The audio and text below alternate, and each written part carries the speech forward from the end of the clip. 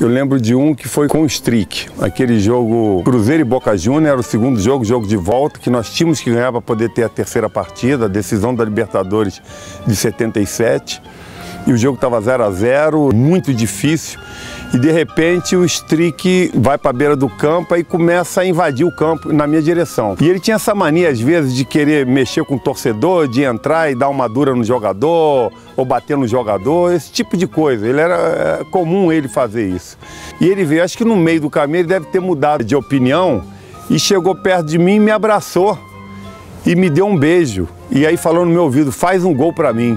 E aí ele saiu do campo. Lá para os 35, 37 minutos do segundo tempo, saiu uma falta na intermediária e eu fui bater e fiz o gol. Nós ganhamos de 1 a 0.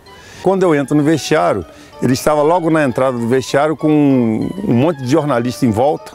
E quando ele me viu, ele veio me abraçar. Muito obrigado por, por você ter feito um gol para mim. E eu, naquele momento, eu digo, oh, rapaz, você acha que eu ia fazer gol para você, rapaz?